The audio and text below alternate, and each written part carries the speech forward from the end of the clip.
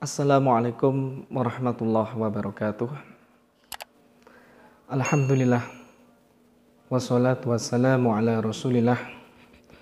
Wala hawla wala quwata illa billah amma ba'du. Kaifa halukum?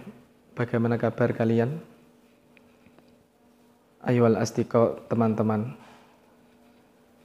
Khosatan fi hadhil qanah khususnya di channel ini ya, sebagai subscriber atau tidak fi hadhil fursah mubarakah pada kesempatan yang penuh berkah ini sauballighukum anit ta'birat. Saya akan menyampaikan ungkapan al ibarah al ula ungkapan yang pertama adalah bihadhihi tariqatin.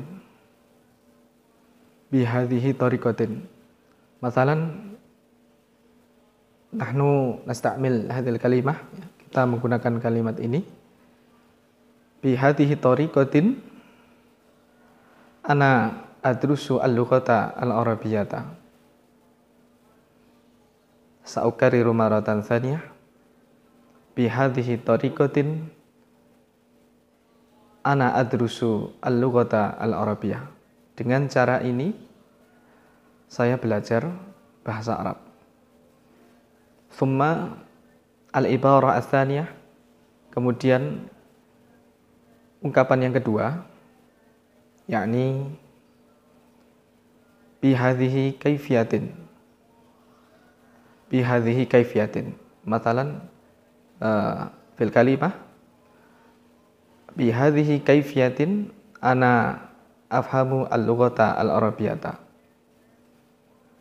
bihadhihi kaifiyatin ana afhamu al-lughata al-arabiyata dengan cara ini saya memahami bahasa Arab dengan cara ini saya memahami bahasa Arab.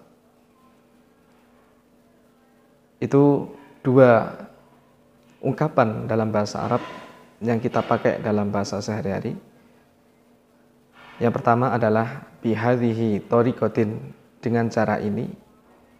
Dan juga sama kita menggunakan uh, ungkapan yang kedua bihadhi kaifiyatin. Kita bisa mengembangkan dengan kalimat yang lain.